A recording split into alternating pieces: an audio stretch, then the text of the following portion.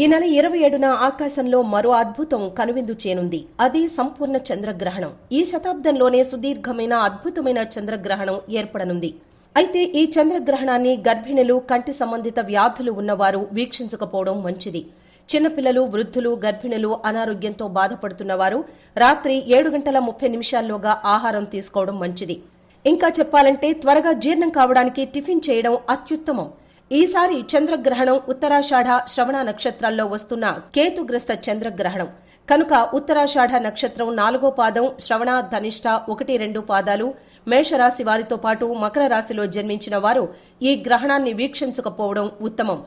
నలభై ఒక్క రోజుల్లోపు గ్రహణ జపం శాంతి హోమం దానం చేయించుకోవడం మంచిదని పండితులు చెబుతున్నారు. మిథున తుల కుంభరాశుల వారు ఆరు నెలల పాటు జాగ్రత్తగా ఉండాలి. గ్రహణం వీడిన పదకొండు రోజుల్లోగా నవగ్రహ పూజ శివుడికి అభిషేకం చేయించుకోవడం మంచిదని పండితులు చెబుతున్నారు. ఇప్పుడు వస్తున్న ఈ చంద్రగ్రహణం కారణంగా అనేక ప్రతికూల ప్రభావాలు కలిగే అవకాశాలు ఉన్నట్లుగా జ్యోతిష్య శాస్త్ర నిపుణులు హెచ్చరిస్తున్నారు.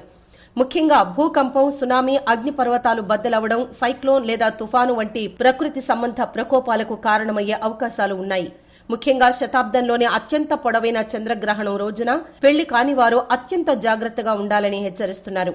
ఆ రోజున అందంగా కనిపించే చంద్రుడు పెళ్ళి కాని వారికి ప్రతికూల ప్రభావాలను కలుగజేస్తాడని ముఖ్యంగా వారి వారి సంబంధాల మీద మరియు పెళ్ళి జరిగే అంశాల మీద ఉండనుందని పెద్దలు హెచ్చరిస్తున్నారు.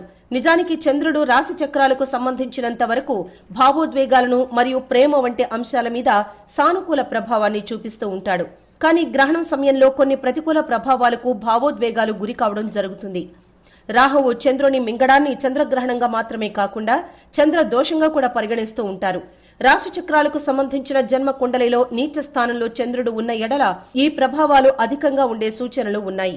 భావోద్వేగాలకు ఉద్రేగాలకు వ్యక్తులు లోనయ్యే పరిస్థితులు దాపురిస్తాయని హెచ్చరించడమైంది.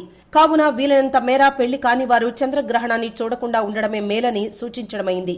మరియు పెళ్ళి కానివారు మాత్రమే కాకుండా గర్భవతులకు మరియు జన్మ కుండలిలో నీచ స్థానంలో చంద్రుడు ఉన్న పెళ్ళైన వారికి కూడా ప్రతికూల సమస్యలు ఎదురయ్యే అవకాశాలు ఉన్నాయని వారు తెలియజేయడమైంది. ఇదే రోజున గురు పూర్ణిమ కూడా వస్తున్నది. కానీ సూతక కాలం కారణంగా ఎటువంటి పూజలు కూడా జరపరాదని ఒకవేళ పూజలు జరపాల్సిన అవసరం ఉంటే గ్రహణానికి ముందుగానే పూర్తి చేయవలసిందిగా సూచించడమైంది. ఒకవేళ గ్రహణం సంబంధించిన అనుమాన నివృత్తికై పూజా విధానాల కోసం ఆలయ పూజారిని కానీ జ్యోతిష్య శాస్త్ర నిపుణులను కానీ సంప్రదించవలసిందిగా సూచించడమైంది.